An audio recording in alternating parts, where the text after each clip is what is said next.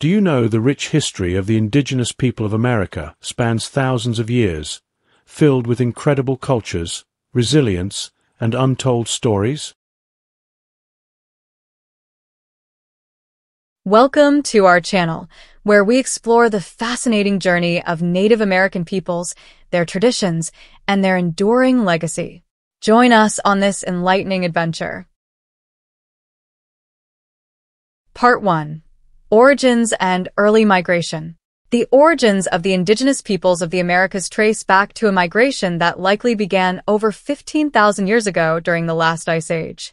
The migration theory that prevails today is that these early peoples crossed the Bering Land Bridge, Beringia, a strip of land that connected Siberia and Alaska during periods of lower sea levels. As the ice receded, it exposed new routes, allowing humans to follow animal herds across the land and into a new continent. For decades, scholars debated the timing of these migrations, and new archaeological findings continue to refine our understanding of when and how the first Americans arrived. Genetic evidence suggests that these populations diverged from their Siberian ancestors well before they crossed into the Americas, possibly living in Beringia for thousands of years, adapting to the harsh conditions of the Ice Age.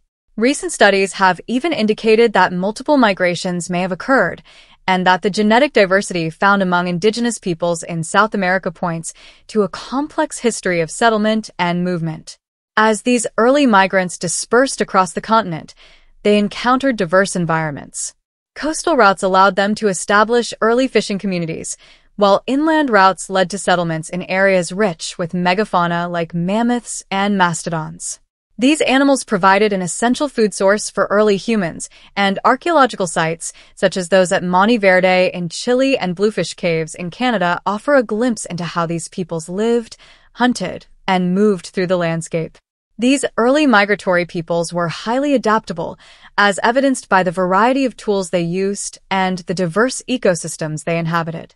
Though they initially relied on hunting large game, the environment forced them to diversify their subsistence strategies, incorporating fishing, gathering, and small game hunting into their diets. Archaeological remains of finely crafted stone tools, such as spearheads and knives, offer insight into the technological innovations that allowed these early peoples to thrive. Over time, these early populations began to develop their own unique cultures and traditions. Regional differences in tools, burial practices, and settlement patterns indicate the emergence of distinct cultural groups. The genetic and linguistic diversity found among indigenous peoples today speaks to the long, complex history of these early settlers. The origins of the indigenous peoples of the Americas are shrouded in mystery, but ongoing research continues to shed light on their ancient migrations and the rich cultural history they brought with them. Part 2 the Clovis culture, and early American settlements. The Clovis culture, which emerged around 13,000 years ago, represents one of the earliest and most widespread cultures in North America. Named after the site near Clovis, New Mexico, where distinctive stone tools were first discovered, the Clovis people were skilled hunters and toolmakers. Their fluted projectile points, made from high-quality stone, were designed to be mounted on spears, making them effective weapons for hunting large game such as mammoths and bison. The discovery of Clovis points across much of North America, from the Great Plains to the East Coast, suggests that this culture spread rapidly. The tools they left behind offer valuable clues about their way of life. In addition to hunting, the Clovis people likely engaged in seasonal gathering of plants and small animals. Archaeological evidence suggests that they lived in small, mobile groups, moving frequently in response to the availability of food and resources. Clovis sites often contain the remains of butchered megafauna, including mammoths and mastodons, indicating that these animals were an important food source. However, as the climate began to warm at the end of the Ice Age, these large animals became extinct, forcing the Clovis people to adapt to new environmental conditions. This period of transition likely led to the development of more regionally distinct cultures as people began to rely more on smaller game, plants, and aquatic resources. The Clovis culture is often viewed as a turning point in the history of indigenous peoples in North America. While the exact reasons for the disappearance of the Clovis culture are not fully understood, It is clear that their influence persisted in the form of technological innovations and hunting strategies that were passed down to subsequent generations. The end of the Clovis era marks the beginning of a new phase in indigenous history as different groups adapted to their changing environments and developed new ways of life. Recent discoveries of pre-Clovis sites, such as the Monte Verde site in Chile, have challenged the traditional timeline of human migration into the Americas. These findings suggest that humans may have arrived in the Americas earlier than previously thought, and that the Clovis people were not the first inhabitants of the continent. These discoveries have sparked new debates about the origins and spread of early American cultures. Part 3. The Rise of Agricultural Societies The transition from hunting and gathering to agriculture represents one of the most significant developments in human history. In the Americas, this transition began around 5000 BC, when indigenous peoples in Mesoamerica and the Andes began to domesticate plants such as maize, corn, beans, squash, and potatoes. These crops became the foundation of complex agricultural societies that would eventually give rise to some of the most powerful civilizations in the Americas. The domestication of maize in particular had a profound impact on indigenous societies. Maize was a highly adaptable crop that could be grown in a variety of climates, and its cultivation allowed populations to grow and settle in larger, more permanent villages. In Mesoamerica, Early agricultural communities gradually evolved into complex societies with stratified social hierarchies, centralized political systems, and advanced technological innovations. One of the earliest great civilizations in the Americas was the Olmec, who flourished along the Gulf Coast of Mexico between 1400 and 400 BC. The Olmecs are often considered the mother culture of Mesoamerica, as many of the cultural and religious practices that later define the Maya and Aztec civilizations can be traced back to Olmec origins.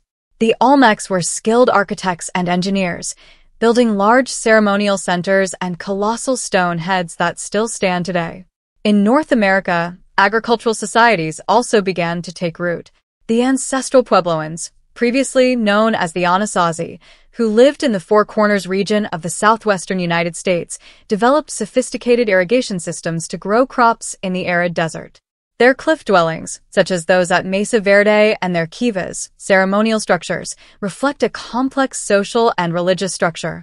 Further east, the Mississippian culture emerged around 800 CE, thriving until European contact in the 16th century. The Mississippians were skilled farmers, growing maize, beans, and squash in the fertile floodplains of the Mississippi River. They built large earthen mounds that served as platforms for temples and residences for their elite. Cahokia, located near present-day St. Louis, Missouri, was the largest city of the Mississippian culture, with a population that may have reached 20,000 at its height. The development of agriculture allowed indigenous societies to support larger populations and build more complex social structures. It also led to the creation of extensive trade networks that connected communities across vast distances.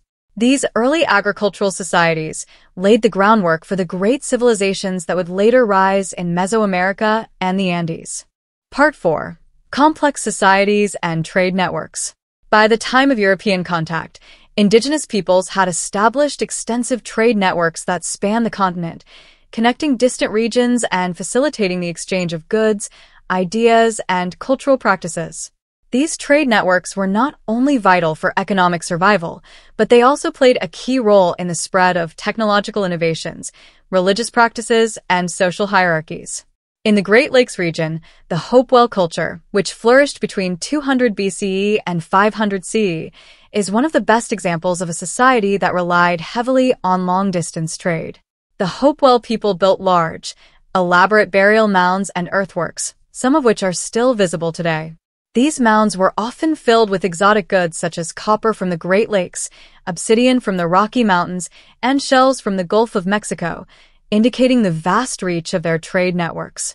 In the southwest, the ancestral Puebloans were also part of a far-reaching trade network. They traded turquoise, pottery, and other goods with neighboring cultures in Mesoamerica. Evidence of this trade can be seen in the similarities between Puebloan architecture and that of the great Mesoamerican cities, such as Teotihuacan and Chichen Itza. This exchange of goods and ideas helped to shape the cultural and religious practices of both regions. Trade networks were not limited to North America. In Mesoamerica, the Maya civilization developed a complex system of trade routes that connected their cities with other cultures in Central America and beyond. Maya merchants traded goods such as cacao, jade, obsidian, and textiles, which were highly prized in neighboring regions. The Maya also used their advanced knowledge of astronomy and mathematics to develop a calendar system that was adopted by other Mesoamerican civilizations. In the Andes, the Inca Empire established a vast network of roads and bridges that allowed them to control a territory that stretched from present-day Colombia to Chile. The Incas used a system of runners, known as chasquis, to carry messages and goods across their empire, ensuring efficient communication and trade. The Incas' ability to organize such a large and diverse territory was one of the keys to their success. These trade networks not only facilitated the exchange of goods, but also fostered cultural exchange. Religious ideas, artistic styles, and technological innovations spread along these routes, contributing to the development of complex societies across the Americas. The extensive trade networks of indigenous peoples are a testament to their ingenuity and adaptability, and they played a crucial role in shaping the history of the Americas. Part 5. The Flourishing of Mesoamerican Civilizations As the agricultural base strengthened, Mesoamerican civilizations blossomed into highly advanced societies with complex social, political, and religious structures. Among these were the Olmecs, who are considered one of the earliest great civilizations in Mesoamerica, influencing later cultures like the Maya, Zapotec, and Aztec. The Olmecs, flourishing between 1400 and 400 BC along the Gulf Coast, left behind colossal stone heads and intricate jade artifacts, representing their elite rulers. Their influence stretched across Mesoamerica through a sophisticated trade network, spreading Olmec-style iconography and religious ideas. Following the Olmecs, the Maya civilization became one of the most prominent and influential cultures in the region, known for their advancements in mathematics, astronomy, and writing. The Maya lived in modern-day southern Mexico, Guatemala, Belize, and parts of Honduras and El Salvador. They constructed towering pyramids, grand palaces, and complex city-states, with important centers like Tikal, Chichen Itza, and Copan becoming powerhouses of trade and cultural development. The Maya's sophisticated calendar system, based on their detailed astronomical observations, is considered one of their greatest achievements. Their hieroglyphic writing system remains one of the most advanced of any pre-Columbian culture, and recent breakthroughs in deciphering it have revealed much about their society, including the central role of warfare, ritual sacrifice, and political alliances. The city of Teotihuacan, located near modern-day Mexico City, was another major urban center in Mesoamerica. At its peak, around 100 to 650 CE, Teotihuacan had a population of over 100,000, making it one of the largest cities in the world at the time. Its massive pyramids, such as the Pyramid of the Sun and the Pyramid of the Moon, remain iconic symbols of ancient Mesoamerican architecture. Teotihuacan's influence extended far beyond its borders, with evidence of its cultural and commercial reach found as far away as the Maya lowlands and the Zapotec city of Monte Alban. Teotihuacan's political and religious systems, as well as its urban planning and architectural styles, significantly impacted subsequent Mesoamerican cultures, including the Aztecs, who considered Teotihuacan a sacred and mythical site long after its decline.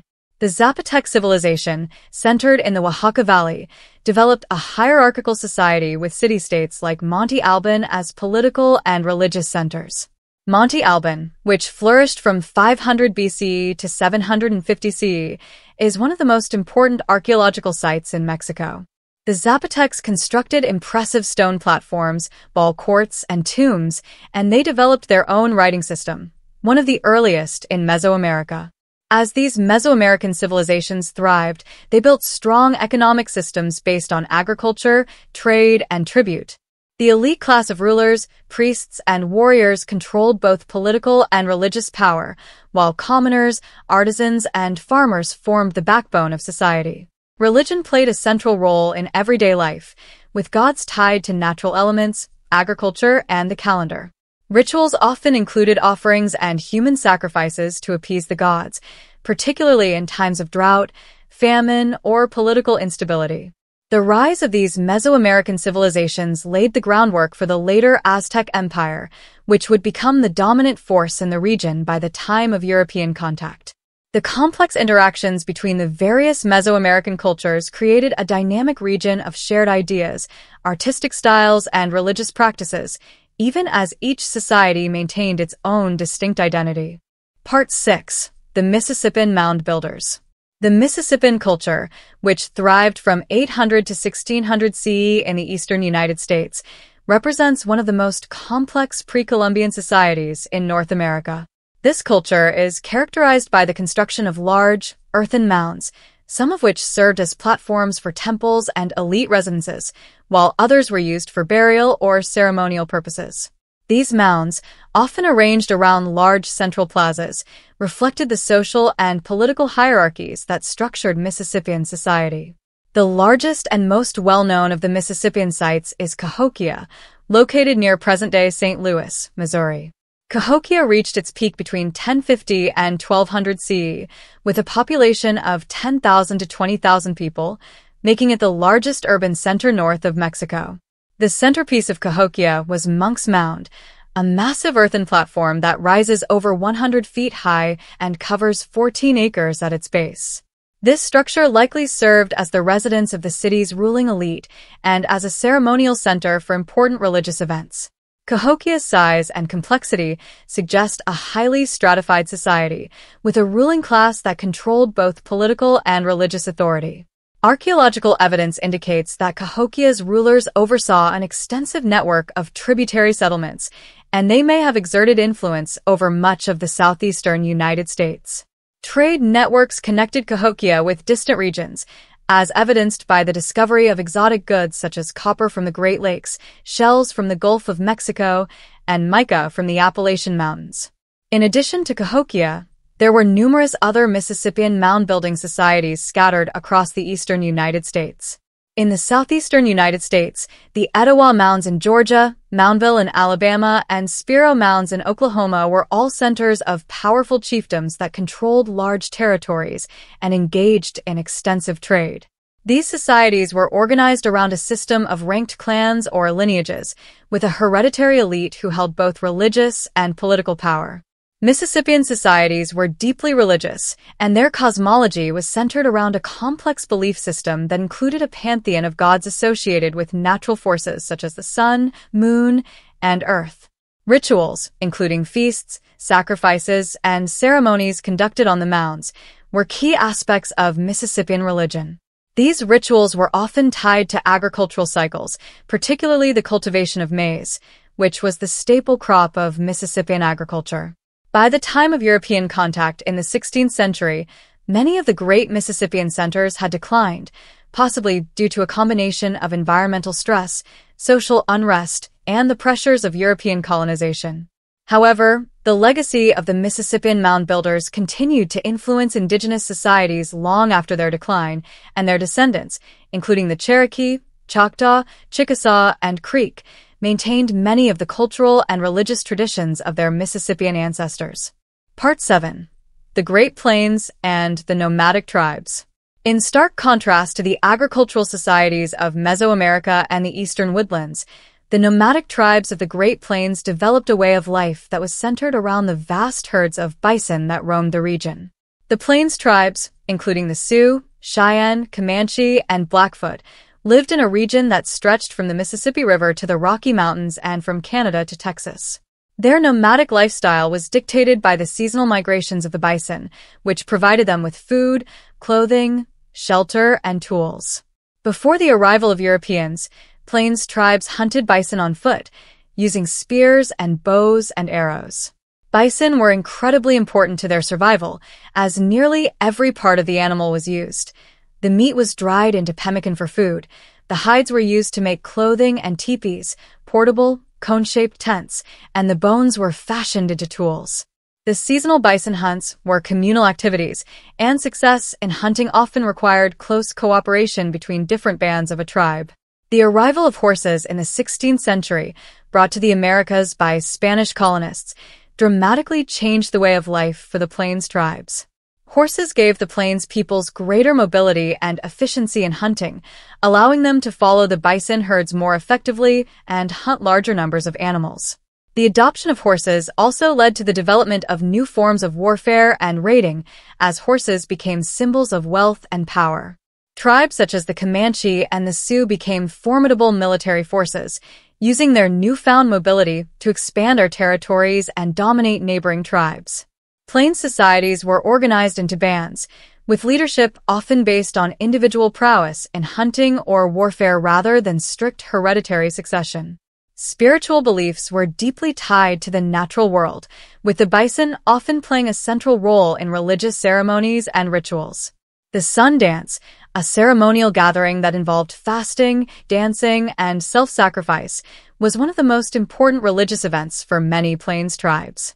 The sun dance was seen as a way to renew the bonds between the people and the earth, and to ensure the continued abundance of the bison.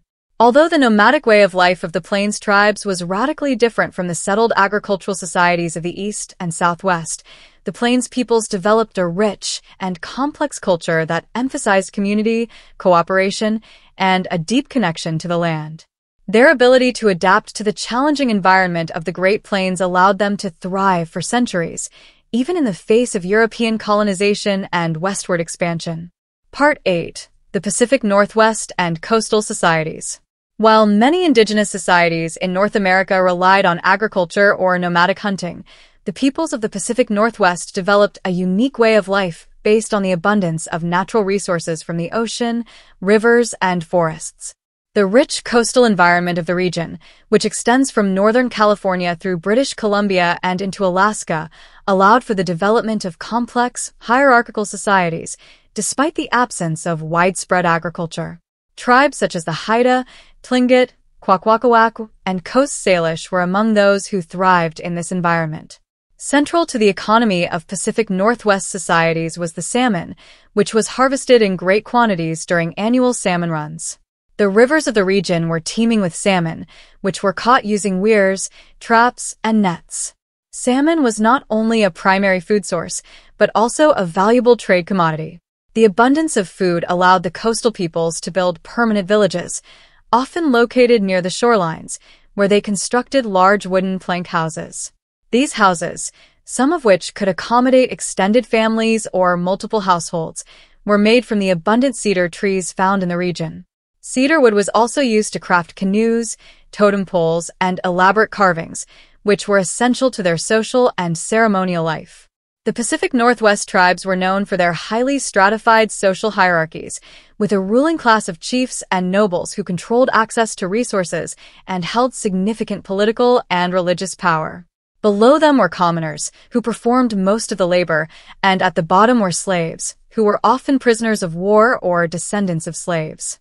Wealth and status were closely tied to the control of natural resources, particularly access to prime fishing and hunting locations. One of the most important cultural practices of the Pacific Northwest was the potlatch, a ceremonial feast in which leaders demonstrated their wealth and status by giving away goods, such as blankets, food, or carved items, to guests. The potlatch was a key institution for maintaining social order, redistributing wealth, and solidifying alliances between different families or villages. The ceremony often included speeches, dances, and songs, and it was a time for the public display of totem poles, which represented clan identities and histories. Totem poles, carved from massive cedar trees, are one of the most distinctive features of Pacific Northwest art and culture. These towering sculptures were often placed in front of houses or in ceremonial spaces, serving both as symbols of family lineage and as records of important events or legends. The intricate designs on totem poles depict animals such as bears, eagles, ravens, and wolves, all of which held symbolic significance in the spiritual beliefs of the coastal peoples. In addition to totem poles, the coastal peoples of the Pacific Northwest developed an impressive artistic tradition, which included elaborate masks, woven textiles, and carved objects. These art forms were closely tied to their spiritual beliefs, which emphasized the interconnectedness of humans, animals, and the natural world. Ceremonies and rituals often involved dances and songs that invoked the spirits of animals and ancestors, with the goal of maintaining harmony with the environment. Trade was another important aspect of life for the Pacific Northwest peoples. Canoes, which were carved from large cedar logs, were used for travel along the coast and for trading expeditions to neighboring tribes. Coastal villages traded items such as dried fish, woven baskets, and carved objects with inland groups in exchange for goods such as furs, obsidian, and copper. These trade networks connected the Pacific Northwest with other regions of North America, and they played a key role in the spread of ideas and cultural practices. The Pacific Northwest tribes were relatively isolated from European contact until the late 18th century, when Russian, Spanish, and British explorers began to arrive in the region. The fur trade, particularly the demand for sea otter pelts, quickly transformed the economy of the coastal peoples, bringing them into closer contact with European traders. However, the arrival of Europeans also brought devastating diseases such as smallpox, which decimated many coastal communities. Despite the challenges of colonization, the indigenous peoples of the Pacific Northwest have maintained a strong cultural identity, and many continue to practice their traditional art forms and ceremonies. The potlatch, which was banned by the Canadian government in the late 19th century, was revived in the 20th century and remains an important cultural institution. Today, the peoples of the Pacific Northwest are leaders in the movement to protect the environment, particularly the salmon populations and the forests that have sustained them for millennia. Part 9. The Arrival of Europeans and Early Contact. The arrival of Europeans in the Americas in the late 15th century marked the beginning of a new era for the indigenous peoples of North and South America. Although initial encounters between indigenous peoples and European explorers were often marked by curiosity and trade, these early contacts soon gave way to conflict, disease, and colonization. The first sustained European presence in the Americas began with the voyages of Christopher Columbus in 1492, followed by the Spanish conquest of the Caribbean and Mesoamerica. By the early 16th century, the Spanish had established colonies throughout the Caribbean and Central and South America, bringing them into contact with powerful indigenous civilizations like the Aztec and Inca. In North America, European colonization began more slowly, with early expeditions by Spanish explorers such as Juan Ponce de Leon in Florida, 1513, and Hernando de Soto, who led an expedition through the southeastern United States in the 1540s. French, English, and Dutch explorers followed, establishing their own colonies along the Atlantic coast and in Canada.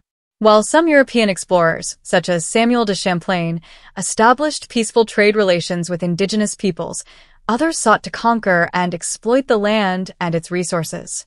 One of the most devastating consequences of European contact was the introduction of diseases such as smallpox, measles, and influenza, to which indigenous peoples had no immunity. These diseases spread rapidly through indigenous communities, often killing entire villages and weakening societies before Europeans even arrived in their territories. It is estimated that diseases brought by Europeans caused the deaths of tens of millions of indigenous people across the Americas, leading to what some historians describe as one of the largest demographic collapses in human history.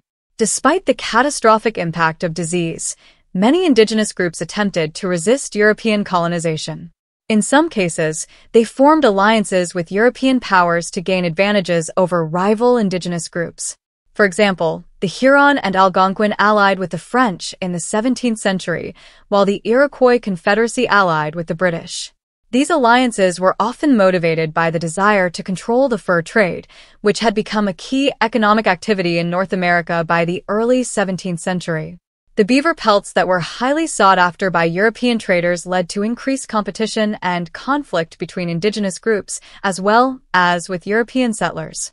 In other cases, indigenous leaders engaged in direct resistance to European encroachment.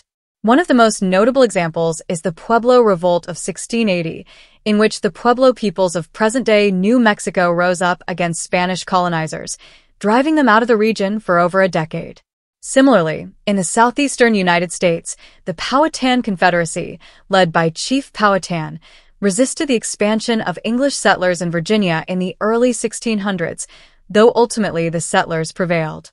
The arrival of Europeans also brought new technologies and goods to indigenous societies, such as metal tools, firearms, and horses, which had a transformative impact on their way of life. For Plains tribes, the introduction of horses by the Spanish in the 16th century revolutionized their hunting practices and allowed them to expand their territories. The horse became a symbol of wealth and power, and Plains cultures adapted their social structures and warfare strategies to take advantage of this new mobility. By the late 17th and early 18th centuries, European colonization had spread across much of North America, from the Spanish missions in California and the Southwest to the French fur trading posts in the Great Lakes and the British colonies along the Atlantic coast. While some indigenous groups managed to maintain a degree of autonomy through strategic alliances or geographical isolation, others were displaced from their ancestral lands, forced into labor, or subjected to conversion efforts by Christian missionaries. The early period of European contact was a time of immense change for indigenous peoples who faced the dual challenges of disease and colonization. However, it was also a time of adaptation and resilience, as indigenous societies found ways to resist, negotiate, and adapt to the new realities brought by European contact. Part 10 Resistance and Adaptation As European colonization progressed through the 17th and 18th centuries, indigenous peoples across the Americas faced mounting pressures from land encroachment, forced displacement, and cultural assimilation. Despite these overwhelming challenges, many indigenous groups found ways to resist European domination, either through military conflict or strategic diplomacy. This period was marked by indigenous resistance, adaptation, and survival in the face of colonization, with some groups able to maintain their sovereignty for extended periods.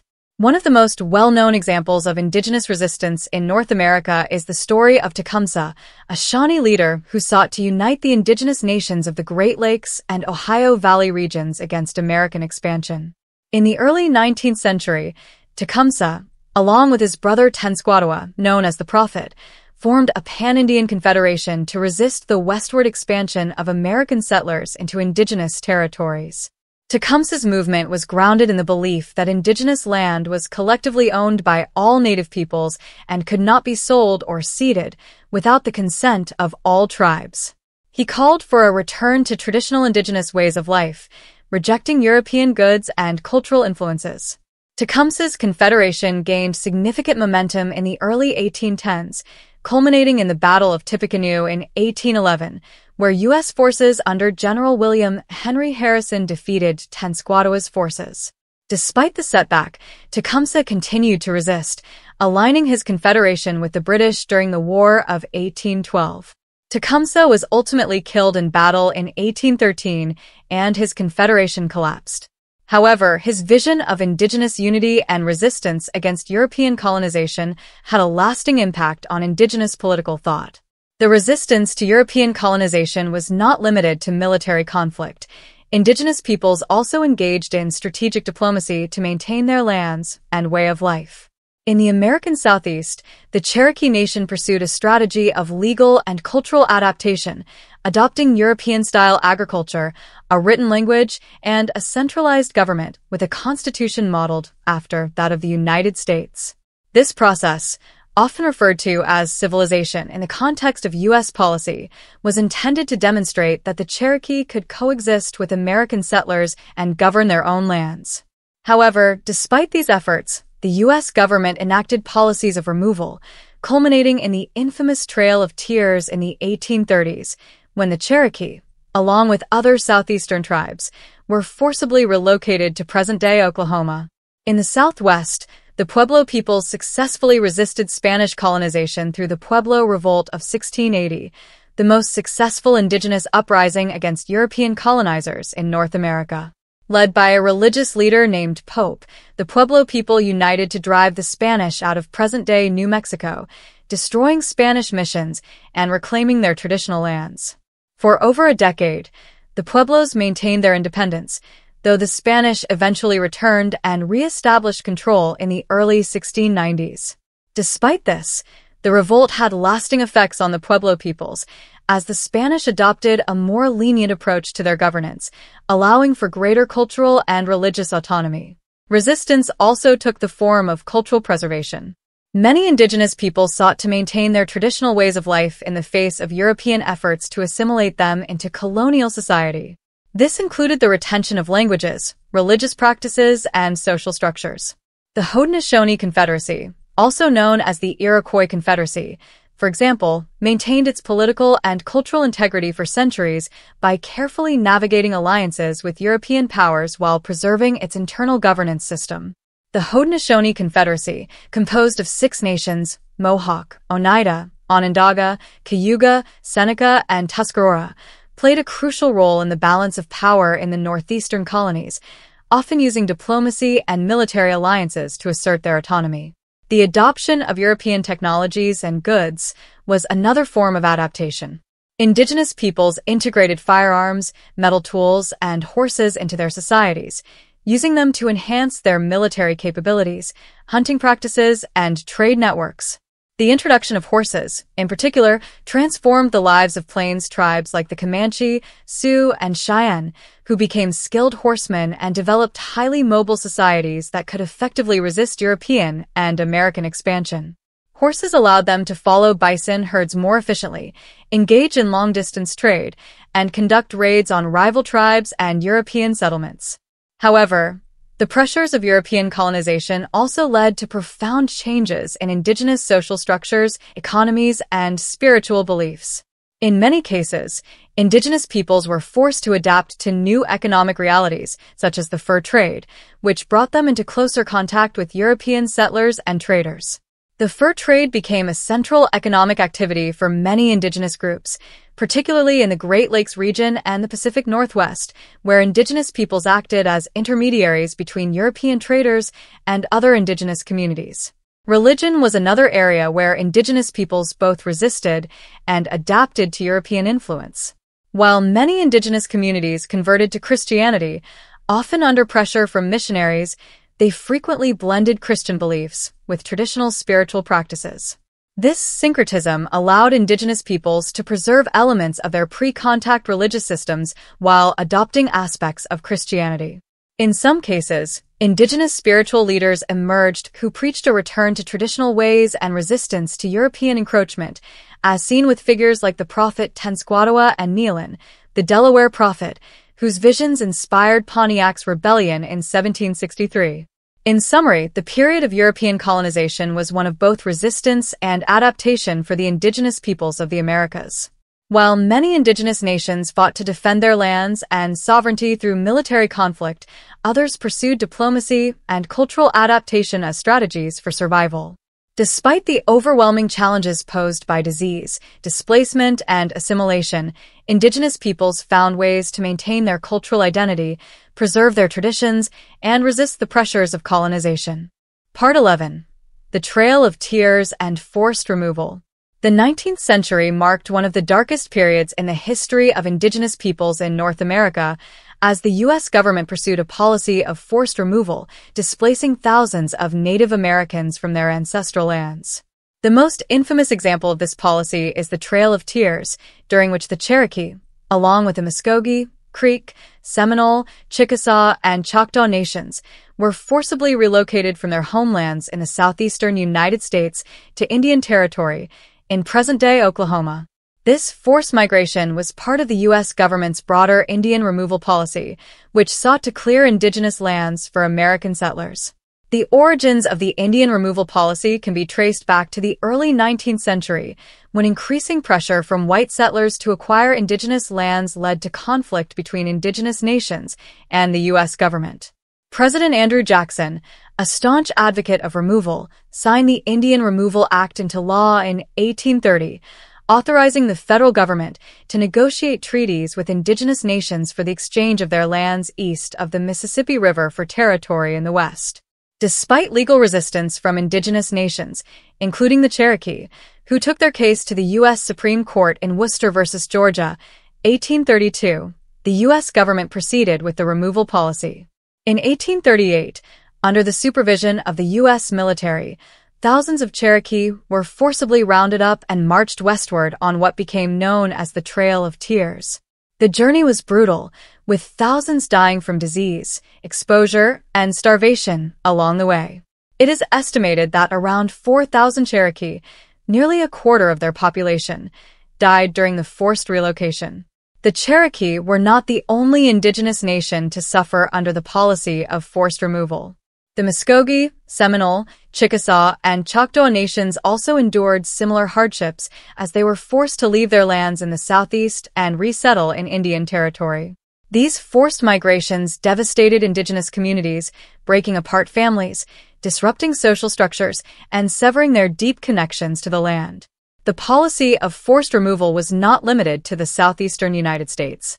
In the Midwest, the Sauk and Fox nations, led by Chief Black Hawk, resisted U.S. efforts to remove them from their lands in Illinois, resulting in the Black Hawk War of 1832.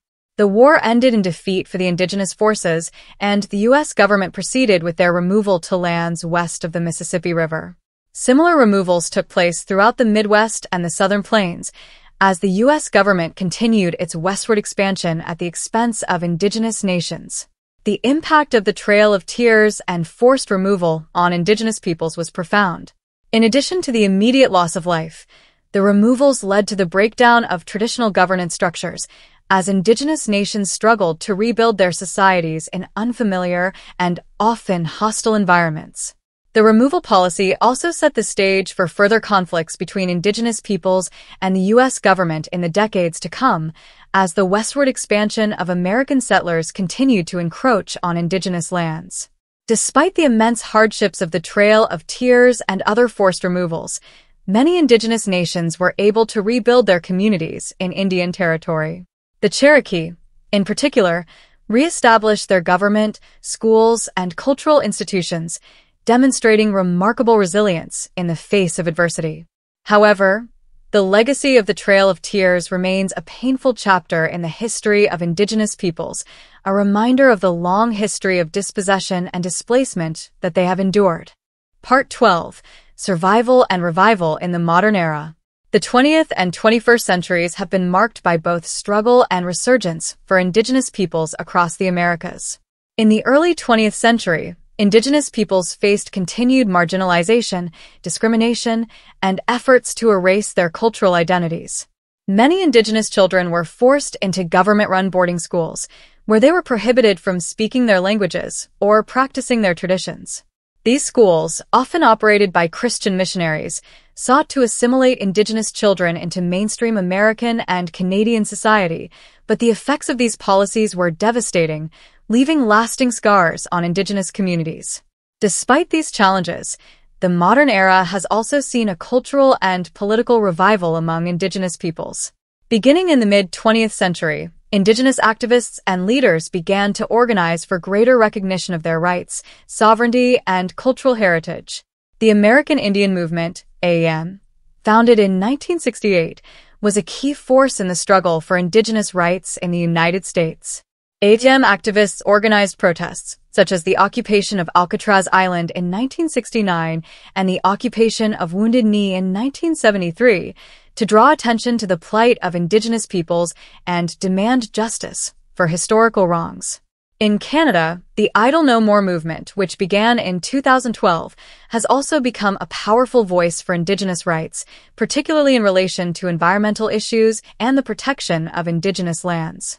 Indigenous leaders and activists in both the US and Canada have been at the forefront of environmental movements, advocating for the protection of water, forests, and wildlife in accordance with traditional Indigenous beliefs about the interconnectedness of all living things. Language revitalization efforts have also become a central focus of modern Indigenous movements. Across the Americas, Indigenous languages that were once on the brink of extinction are being taught to new generations of Indigenous youth, ensuring that these languages, along with the cultural knowledge they carry, are preserved for the future. The late 20th and early 21st centuries have also seen a renewed emphasis on Indigenous sovereignty and self-governance. In the United States, the Indian Self-Determination and Education Assistance Act of 1975 gave Indigenous nations greater control over their own affairs, allowing them to manage their own schools, health services, and economic development initiatives. In Canada, the recognition of Indigenous land claims, along with the 1999 creation of Nunavut, a self-governing Inuit territory, marked significant steps toward Indigenous self-determination. Indigenous peoples have also achieved remarkable successes in the arts, literature, and politics. Indigenous authors, such as Louise Erdrich, Sherman Alexie, and Thomas King, have gained international acclaim for their works, which explore the complexities of Indigenous identity and history. Indigenous visual artists and filmmakers have also made significant contributions to the global art scene, using their work to challenge stereotypes and celebrate Indigenous culture. Today, Indigenous peoples continue to face significant challenges, including poverty, health disparities, and the ongoing effects of colonialism. However, the resilience and determination of Indigenous nations, combined with growing public awareness of Indigenous rights, have led to significant progress in recent decades. Indigenous leaders are playing an increasingly prominent role in national and international politics, and the voices of Indigenous peoples are being heard in debates over environmental policy, human rights, and cultural preservation. The story of the Indigenous peoples of the Americas is one of survival, resistance, and renewal. Despite centuries of colonization, displacement, and cultural erasure, Indigenous peoples have maintained their identities, their traditions, and their connections to the land. As they continue to fight for their rights and reclaim their histories, they are not only preserving the legacy of their ancestors, but also shaping the future of their nations for generations to come. Part 13 Cultural Renaissance and Language Revitalization. In the latter half of the 20th century, indigenous communities across the Americas began to experience a powerful cultural renaissance. After centuries of attempts to suppress indigenous identities, a resurgence of traditional practices, art forms, and languages became central to reclaiming indigenous heritage. In this period, indigenous peoples worked diligently to reverse the losses inflicted by colonization, the boarding school system, and policies of forced assimilation. One of the most significant efforts has been language revitalization. Many indigenous languages, once at risk of extinction due to decades of suppression, are now being actively preserved and taught to younger generations. These efforts range from community language classes to immersive schools where indigenous languages are the primary mode of instruction. The Cherokee Nation, for example, has developed immersion schools to teach children the Cherokee language from an early age. Similarly, the native Hawaiian language has seen a resurgence through initiatives like the Aha Punana Leo schools, which have successfully educated generations of Hawaiian-speaking children. The revitalization of languages is more than just the recovery of words and grammar.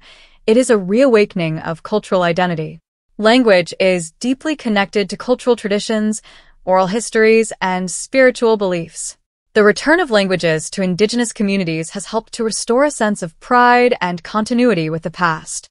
In addition, indigenous artists, musicians, and writers have contributed to this cultural renaissance by producing works that reflect both their traditional heritage and contemporary indigenous experiences. Artistic expression has always been a crucial element of indigenous cultures, and in the modern era, Many indigenous artists have drawn on traditional motifs while addressing current social and political issues. Visual artists like Norval Morrisseau, Anishinaabe, and contemporary artists like Jeffrey Gibson, Choctaw Cherokee, blend traditional art forms with modern techniques, creating powerful visual statements about identity, survival, and resilience.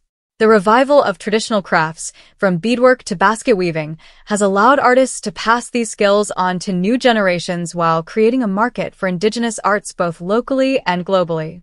Similarly, indigenous authors have used literature as a means to explore and assert their cultural identities. Writers like Louise Erdrich, Ojibwe, Sherman Alexie, Spokane Coeur d'Alene, and N. Scott Momaday, Kiowa, have gained critical acclaim for their works, which delve into the complexities of Indigenous life, including the enduring effects of colonization, cultural survival, and contemporary Indigenous experiences. These voices have brought Indigenous stories to the forefront of literature, educating both Indigenous and non-Indigenous readers alike about the richness and diversity of Native cultures. Part 14. Indigenous Leadership in Environmental Protection. Indigenous peoples have long held a deep and sacred connection to the natural world, with environmental stewardship forming a core part of many indigenous belief systems. In the modern era, indigenous leaders have emerged as key figures in global movements for environmental justice and sustainability. Recognizing that the health of the earth is intrinsically tied to the well-being of their communities, indigenous activists and leaders advocate for the protection of natural resources, sacred lands, and biodiversity. In many cases, indigenous peoples are at the forefront of efforts to combat the effects of climate change and to protect ecosystems that are under threat from industrial development. One prominent example is the Standing Rock Sioux tribe's opposition to the Dakota Access Pipeline, DAPL, in 2016. The proposed pipeline, which would run near the Standing Rock Reservation in North Dakota, was seen as a threat to both water sources and sacred land.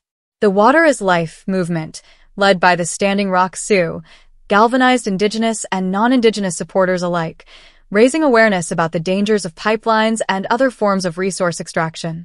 Though the pipeline was ultimately completed, the movement sparked an international conversation about Indigenous rights and environmental justice. Similarly, in the Amazon rainforest, Indigenous groups have been leading efforts to halt deforestation and the encroachment of oil companies into protected areas.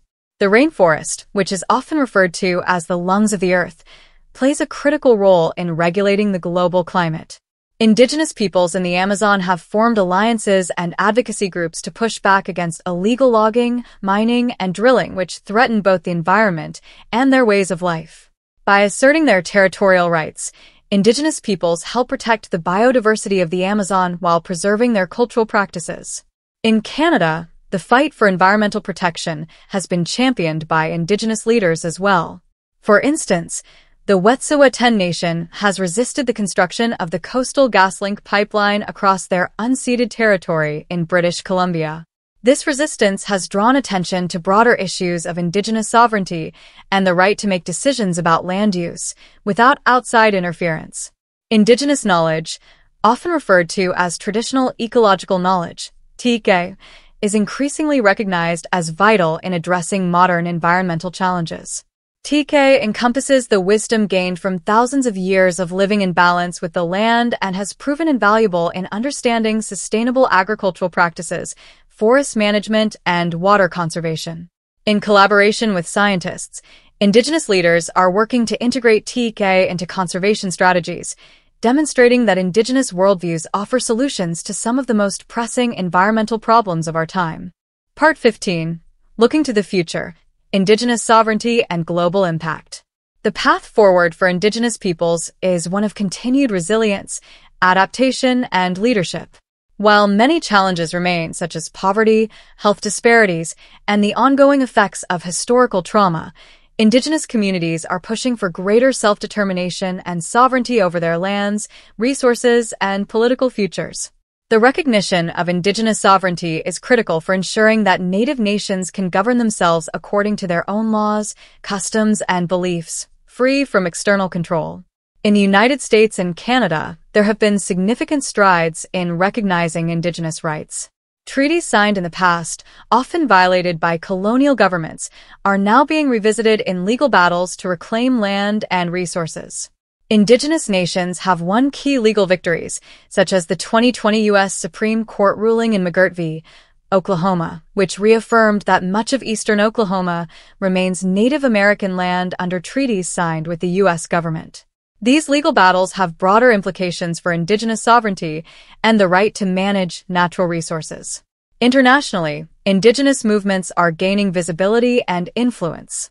The United Nations Declaration on the Rights of Indigenous Peoples, UNDRIP, adopted in 2007, provides a framework for the protection of indigenous rights, including land ownership, cultural preservation, and the right to participate in decision-making processes that affect them. While the declaration is non-binding, it represents a significant step toward global recognition of Indigenous issues and has been used as a tool by Indigenous activists to advocate for their rights on an international stage. In addition to legal and political victories, Indigenous peoples are making their mark in various fields, including science, technology, the arts, and entrepreneurship. Indigenous scientists and engineers are increasingly contributing to fields like environmental science, astronomy, and medical research, often drawing on both Western scientific methods and traditional knowledge. Indigenous entrepreneurs are building businesses that not only create economic opportunities for their communities, but also prioritize sustainability and cultural preservation. The future of Indigenous peoples will be shaped by their ongoing commitment to sovereignty, culture, and environmental protection. Indigenous youth, who are reclaiming their languages, traditions, and roles as leaders, will play a pivotal role in this future.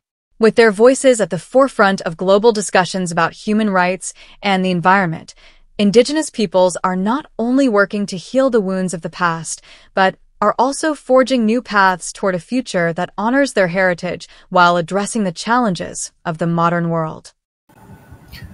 Thank you for joining us on this exploration of the indigenous people of America. We hope you have gained new insights into their incredible history, culture, and resilience. Don't forget to like, subscribe, and share to stay connected with us as we continue uncovering more fascinating stories. See you next time.